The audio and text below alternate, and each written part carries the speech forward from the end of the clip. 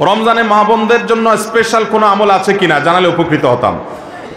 মা বোনরা রমজানে বিশেষ কোনো আমল যেটা পুরুষদের জন্য প্রযোজ্য না, তারা করতে পারেন কিনা? এর উত্তর হলো, মা বোনরা তারা ইফতার তৈরি করেন, সাহারি তৈরি করেন, বেশিরভাগ ফ্যামিলিতে তারাই করেন।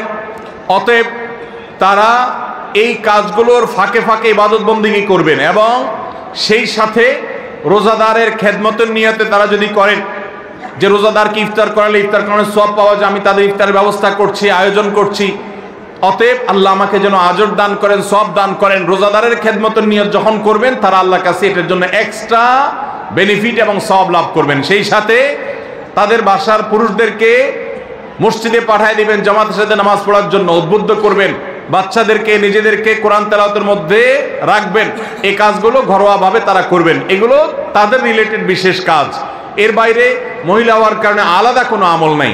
তবে আমাদের যে সমস্ত বোনরা রমজানে মাসিক অবস্থায় থাকেন, ওই অবস্থায় তারা কি আমল করবেন? সেই অবস্থায় তারা জিকির আসকার করতে পারেন, দোয়া, দুরুদ পড়তে পারেন হ্যাঁ ইস্তেগফার করতে পারেন, ইসলামিক বই পুস্তক পড়তে পারেন, তারপর রোজাদারের খেদমত সহ অন্যান্য কাজ তো করবেনই।